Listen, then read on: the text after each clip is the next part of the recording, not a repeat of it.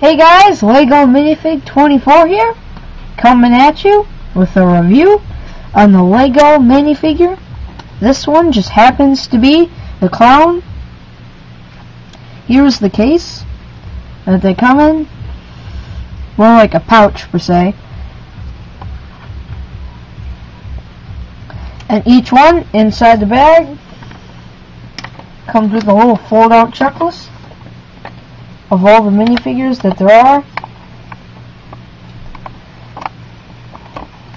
And on the back there are instructions on how to build it. Let's get to the minifigure. The clown comes with a horn. It will fit in his hand. We'll show that to you guys at the end. Let's get to the minifigure. He has torso and leg printing. No back printing though. And each minifigure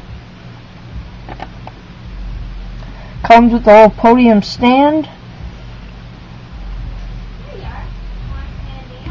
It will rock on the any Lego building surface. First mini minifigure I've had with an afro That's pretty cool.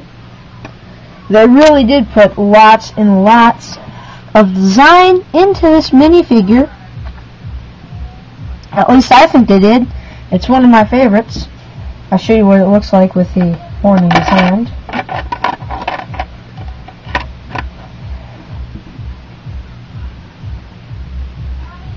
You can get these guys at Toys R Us for $2.50.